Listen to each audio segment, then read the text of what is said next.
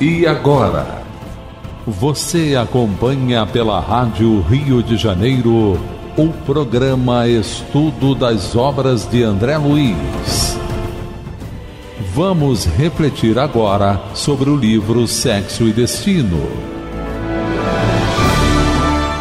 Produção e apresentação Berenice Lima e Deusa Nogueira.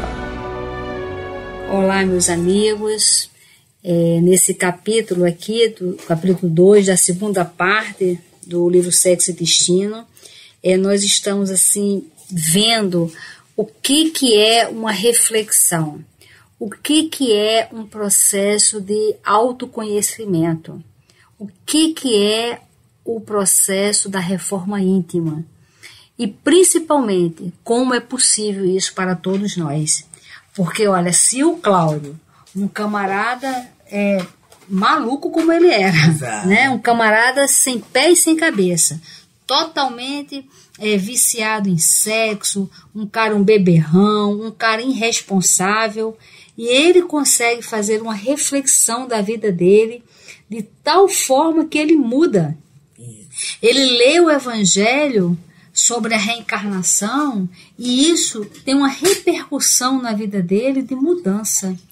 E quantas vezes nós já lemos o Evangelho, quantas vezes nós já lemos tantas informações e o que, que de fato mudou na nossa vida que desse um impacto significativo na nossa evolução espiritual. Porque, olha, comparando ele conosco, nós somos melhores do que ele, Isso. né? Porque nós não estamos envolvidos com bebida. Ele, ele é um camarada que ele estava pensando em estuprar a própria filha. Exato. Né? Então, imagina uma, pessoa com a mente pervertida. Nós não, não estamos nesse estado mental, então já estamos um pouco mais à frente. Eis que, de repente, em menos de 24 horas, o camarada dá um salto é. na nossa frente. Numa leitura, né? Numa leitura e na observação de um gesto de caridade, de desprendimento. É. Então, nós temos que fazer um esforço para compreender o que nós lemos. Porque no dia que a gente compreender ter consciência de uma coisa apenas, a gente tem de tudo. Isso, é porque abre, abre um painel. É, né? Porque, olha, Jesus só fala de um tema o tempo todo. Exato. Uma vez eu escutei o Divaldo falando que o João, evangelista, né, quando estava já velhinho, tinha um senhor que ia visitá-lo lá na ilha de Pátimo e falava para ele: Mas o, o que Jesus ensinava? Aí lá, ah, Jesus só ensinava o amor para que a gente amasse. Aí eu depois, mas me diga, o que, que Jesus ensinava mesmo? E lá, ah, Jesus ensinava para a gente se amar. Eu falava, não é possível, ele só ensinou é. isso. Aí o João, ah, é, quando a gente aprender, ele vai ensinar outra coisa. É, e ele, na própria epístola dele, ele fala, né? É, no final, assim, meus filhinhos, amai muito, amai bastante, né? Quer dizer, ele convida a essa história do amor, a, a esse episódio do amor, né? Então, Jesus só fala isso. Ele só ensina isso com diversas passagens, com diversas parábolas, com diversas frases, com diversos temas. Porque no dia que a gente entender um, a gente entende todos. Exato, né? exatamente. Né? Porque como o assunto é o mesmo, na hora que você entender uma coisinha, pronto. Você vai aplicar em todos os diferentes cenários da vida, né? É essa, é essa a proposta. Então ele vai continuando a falar pra gente que não a, a Marita está pensando na irmã e naquele momento ela faz uma resenha do que a irmã é, foi para ela e ela relaciona os prejuízos, né? E mesmo que é, André fala assim, meu Deus, agora não é hora de pensar isso, vai atrapalhar, né? Mas ele fala, não valeram ponderações que lhe interessávamos, inquietos. A influência de Moreira que lhe malhava as incriminações, surgia naturalmente muito mais vigorosa para ela, que diligenciava encontrar simpatia e adesão. Aquela desventurada menina desconhecia os poderes do pensamento. Não sabia que fora da indulgência e da brandura invocava desagravo e assim procedendo, não apenas enredava a família em duras provações, mas igualmente punha a perder o valioso trabalho de recuperação daquele amigo necessitado de afeição e de luz. Olha que coisa séria, quer dizer, não era só ela, né? Ela estava induzindo o outro a fazer o pior. o ex-assessor de Cláudio, ao absorver as confidências mudas em que relacionava os pesares mais íntimos, dos quais não tivera ele conhecimento, retomava pouco a pouco a brutalidade que anteriormente lhe marcava a expressão. Agora, olha, olha que coisa interessante. Dentro da mesma casa tinha a Marita, que era uma vítima, o Cláudio, que era o algoz. Porque o Cláudio bebia, o Cláudio queria é, assediá-la sexualmente, o Cláudio com a mente toda pervertida, e tinha um obsessor dentro de casa que estava acoplado ao Cláudio para abusar sexualmente da Marita e tudo mais. Certo? Ok. Acontece o acidente, a, o Cláudio lê o Evangelho, o Cláudio faz uma análise sobre ele, dos pensamentos mais íntimos dele, cai a ficha, ele se arrepende e ele faz um projeto de vida de se tornar uma pessoa melhor. Quando ele faz isso, o que, que acontece? O obsessor não consegue mais ficar acoplado a ele. Por quê? O obsessor só fica acoplado conosco quando a gente oferece alimento para isso. O que, que ele oferecia, o Cláudio? Oferecia a bebida, o, os pensamentos de sexos desajustados. Então, isso formava o quê? Uma parceria. Com essa nova atitude do Cláudio, essa renovação interior, olha, o Cláudio, ele não se transformou num santo, não. não. Ele apenas está com vontade sincera de ser uma pessoa diferente. Está mudando só o campo o de fato, ideia, né? Só o fato dele ter uma vontade para fazer algo diferente, algo melhor, isso já chega ajuda. E qual é a primeira ajuda? A própria vibração é, que é gerada pelos pensamentos dele, faz uma barreira e Isso. não deixa ninguém se aproximar. Por quê? Porque não existe mais compatibilidade. Exatamente. A Marita, que era a vítima, mas que agora está encharcada em pensamentos de vingança, o que, que acontece? Está dando o alimento para alimentar o obsessor. Então, o obsessor agora está indo ficar acoplado com ela. E aí a situação é tão séria, tão séria, tão séria, que o ex-assessor de Cláudio, quer dizer, o Moreira, absorvendo as confidências mudas de Marita, em que ela relaciona os pesares mais íntimos, né? E ele não tinha conhecimento disso. Pouco a pouco eles retornam a essa brutalidade. E aí as melhoras de espírito, que, que acontece? Vão se esvanecendo. A pretexto de auxiliar a protegida, reavivava os instintos de vingador. O olhar que se adoçara de compaixão readquiriu a lividez dos alienados. Sumiram-se todos os indícios de retorno à sensatez e à humanidade que patenteava, desde o momento que renteara com a moça abatida.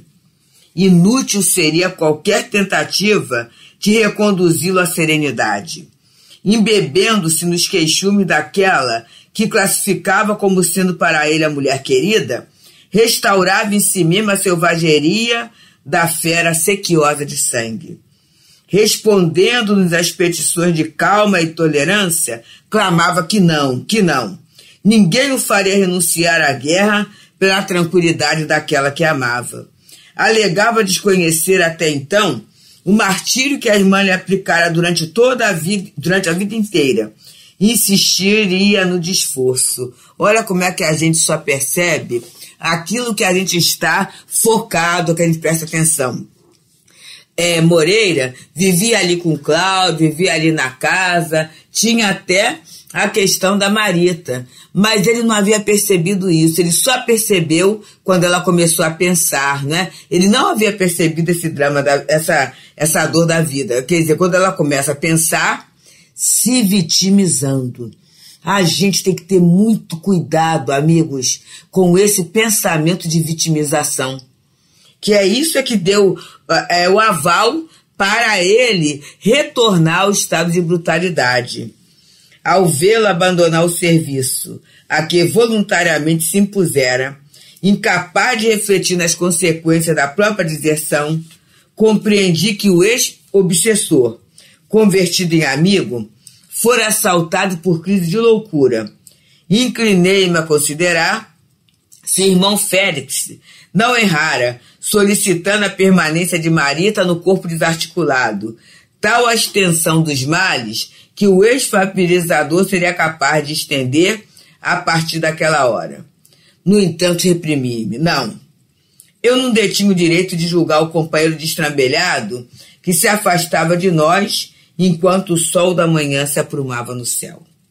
O irmão Félix sabia o que fizera e, com certeza, em outro tempo, não me desequilibrara e nem desacertar em ponto menor.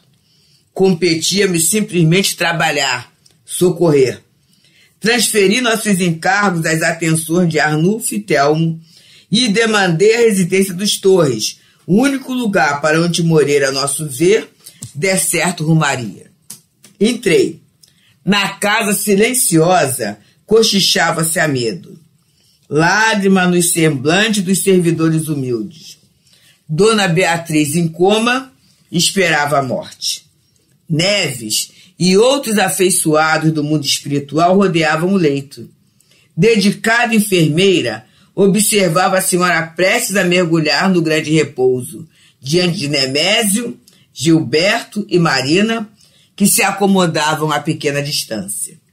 Atortido, porém, verifiquei que Moreira não se achava ainda aí.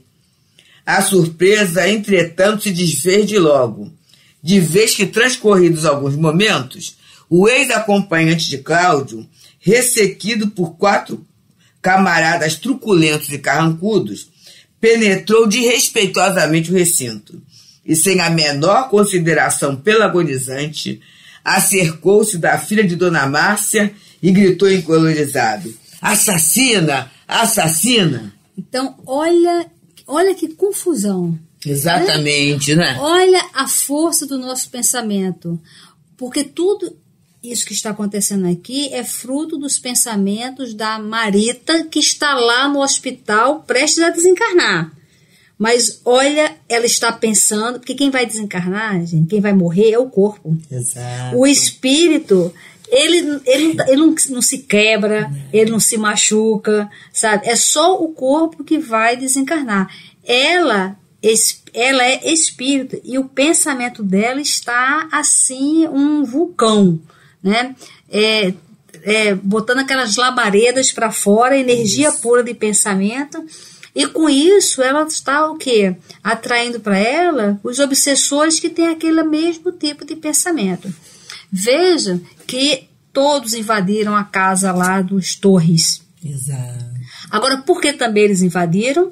Porque é uma casa também imoral. Isso. É uma casa onde o Nemésio, que é o pai, é, é amante, é, tem uma mulher, que essa mulher é amante dele, namora o filho, ele trai a esposa dentro de casa, ou seja, essa invasão também se dá porque é uma casa desprotegida, porque é uma casa imoral.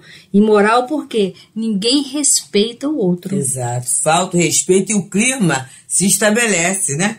E aí, debaixo dessa agressão, que ele grita assassino, assassina, Marina experimentou irreprimível mal-estar empalideceu, sentia-se sufocar.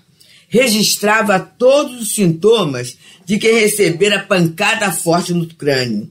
Jogou a cabeça para trás na poltrona, esforçando-se por esconder a indisposição, mas foi debalde.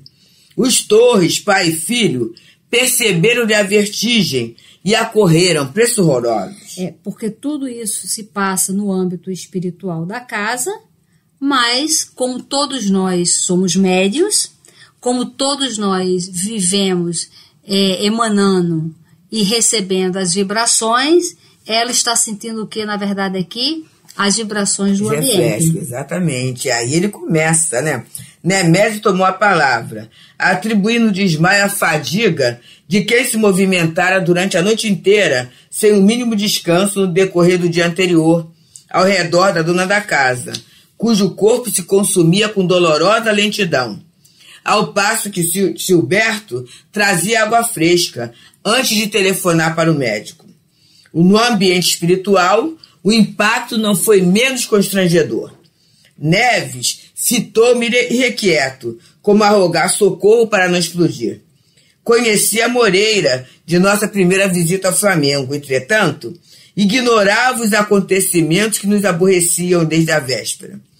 Pelo olhar de censura que nos arremessou, concluí que julgava o aposento da filha invadido por malfeitores desencarnados, numa investida sem qualquer significação, incapaz de ajuizar quanto às causas que impeliam o ex-conselheiro de Cláudio àquele gesto de revolta, para o qual arrebanhara colegas infelizes, efetuando um ataque categorizado por ele à conta de empreitada punitiva e justiceira. Então, nessa hora, a gente viu assim, espíritos que não tinham nada a ver com o caso, mas era amigo do outro, né? E aí abraçar a ideia do mal. Isso é uma lição assim pra gente que a gente às vezes entra em situações que não tem nada a ver com a gente, né? É verdade. Mas aí porque eu sou amiga eu fortaleço a pior parte, é, né? É interessante isso porque a minha mãe é, contava né, os casos dos, de, dos cangaceiros lá da hum. Paraíba. Né, que tão, e, e lá tinha aquele coronelismo, né, aquelas rixas, que muitas vezes se resolvia mesmo na lei do mais forte. Lá, e ela contava coisas do assim do pai dela, do avô dela e tudo mais. E que tinha um camarada lá é, que ele era um matador de aluguel. Uhum. E era um perigo, porque às vezes você falava com ele, se você mudasse de ideia, não, não adiantava não. Uhum. Porque ele falava, não, o que falou tá falado, uhum. sabe? Então era um camarada que era bastante assim conhecido na região. E a gente vê como, tem, como esse espírito aqui está agindo. Exato. Porque o camarada não, não, sabe nem quem é a pessoa, mas se envolve nessa, nessa brigalhada e vai lá tomar as dores e vai Isso. lá resolver. Como é um, é um pensamento primitivo e como também dadas as devidas proporções, né? A gente está falando de um matador de aluguel, mas muitas vezes nós tomamos as dores e ficamos com raiva de, de algumas pessoas e compramos brigas que não é nossa. A gente acaba sendo um vingador de aluguel, né? Pensa Isso. mal, reforça a pior parte, né? E tem prejuízo aqui. Aí ele está falando aqui, uma das senhoras desencarnadas que aguardava o momento de acolher Beatriz, liberta, abordou-me pedindo providências. Moreira e os aderentes despejavam ditérios e obscenidades, injuriando a dignidade do recinto, depois de haverem burlado a vigilância mantida em torno da casa. Não formulava o pedido para se articulasse a contenção deles, a propósito de preconceitos humanos. Aceitava o recém-chegado na posição de credores da maior comiseração. No entanto, a senhora Torres estava nas derradeiras orações em via de partir. Esmolava tranquilidade, silêncio. Em determinadas terapêuticas, não se pode restabelecer a normalidade orgânica senão removendo o centro da infecção. E ali, o pivô da desarmonia era a Marina. Afastava a moça, retirar-se-iam com ela os agentes da desordem. Abeirei-me da menina carecedora de piedade. Supliquei ele saísse, fosse repousar, não teimasse ante a solicitação nossa e seu proveito. Agora veja que a, a visão do André Luiz aí foi, quando ele olhou para ela, ele também viu que uma, uma pessoa carente, uma Isso. pessoa doente. Ele não enxergou ela de um ponto de vista material. Qual era o ponto de vista material? Ela é uma mulher interesseira, se envolveu com o pai, se envolveu com o filho, só quer saber de coisas materiais, tem uma mente completamente perturbada, não respeita os sentimentos da irmã, tem uma visão materialista da vida e é uma pessoa irresponsável, é uma pessoa imoral, inconsequente. É verdade? É. Mas quando André Luiz olha para ela, vê apenas uma menina carecedora de piedade. De piedade, né? E aí ele suplica que saísse e ela obedeceu a contragosto, quer dizer, ela recebeu a sugestão. Pediu licença aos amigos a fim de esperar o médico na dependência dos fundos e a companhia. O bando, porém, renteou comigo e Moreira indagou-me.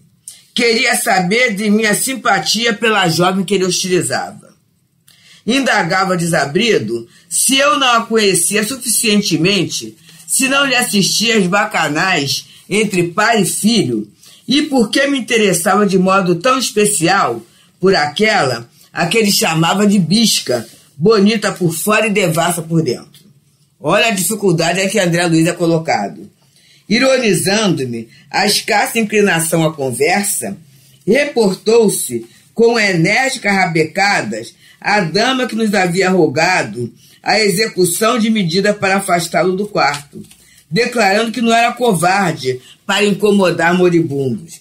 E perguntou insolente por que razão as entidades veneráveis e amigas que ele apelitava por aquelas mulheres nos compeliam a retirá-lo, quando ali deixava Marina respirar à vontade, acentuando que, por ser franco e áspero, não se considerava pior. Olha só, gente, a lógica do espírito, que a gente às vezes acha que o obsessor é um bobinho, né? Hum. Ele está analisando, ele está comparando, ele está concluindo. Crivou-me de palavras repassadas de fel, desafiando-me por fim a enunciar o meu ponto de vista utilizando palavras que colocavam em jogo a confiança com que me honrava desde a véspera, arrisquei-me a ponderar que Marina, apesar de tudo, era filha de Cláudio Nogueira, irmã de Marita, aos quais tributávamos ambos calorosa afeição. Qualquer fracasso em prejuízo dela seria desastre para eles. Não me cabia reprovar corrigendas capazes de lhe fortalecer a vigilância, com manifesta vantagem para ela. No entanto, por amizade aos Nogueiras, não concordaria em que fosse massacrada. Ele sorriu e obtemperou que as apreciações não eram de todas desprovidas de senso, prometendo que amainaria o esforço, mas não desistiria da correção. Despachou os cooperadores, recomendando aos quatro que lhe aguardasse as ordens no pátio lateral e acompanhou-nos segurando-a descortês. Olha que coisa interessante, né, gente? E aí, naquele momento, né, é, indiferente a qualquer ideia de companhia espiritual, Marina penetrou na câmara, encostou a porta e ajeitou-se no leito, fechando os olhos. Relaxou-se. Aspirava dormir, descansar, mas não conseguiu. Moreira insensível, indicando o propósito de arrasar em mim qualquer simpatia pela contadora em defesa, participou-me que ia submetê-la a interrogatório em torno de Marita, para que eu lhe ouvisse o depoimento inarticulado e avaliasse o caso por mim mesmo. É. E aqui tem uma coisa muito séria, não é? Dos interrogatórios que a gente participa. Eu estou lembrando, Berenice, que lá no Pedro e Paulo, certa feita, irmão Volte entrou na reunião da mocidade e falou assim, porque a minha mocidade foi naquela época do underground, né? Em que você ficava sentadinha, ouvindo música, às vezes no escuro, era uma moda que tinha essa coisa para ficar pensando, às vezes até decifrando as músicas, né? Era um, um hábito do, de, de alguns jovens naquele momento. E ele falava assim: cuidado quando vocês ficam sentadinhos quietinho, sem fazer nada, e de repente pensa em alguém. E aí vocês pensam em alguém e começam a pensar, pensar, pensar. E muitas vezes vocês estão dando informação para obsessores. Eu tinha 18 anos, menina. Eu vi isso. Nunca mais eu esqueci. Porque aí você não vai pensar na melhor coisa do outro, você vai pensar na pior parte. E parece até que você está pensando com você mesmo. Mas você está dando informações de alguém que quer prejudicar. Ué, pode ser um bom espírito. Um bom espírito não vai querer saber de nada maledicente, né? Uhum. Ele não vai chegar e falar assim: o que a Berenice fez de mal, né? Ele vai querer, o que a Berenice está precisando, né? Como é que está a causa dela? E sempre no sentido de ajudar. Então a gente tem que ter muito cuidado como a gente pensa sobre as pessoas. E que no dia de hoje, se a gente tiver com alguma causa com dificuldade de resolver, que a gente recorra à oração que a gente peça aos guias daquela família, daquela casa, daquela pessoa, para ajudá-las a escolher o melhor. Essa é a função do cristão é a função do espírita. Muita paz. Muita paz. A Rádio Rio de Janeiro apresentou o programa Estudo das Obras de André Luiz.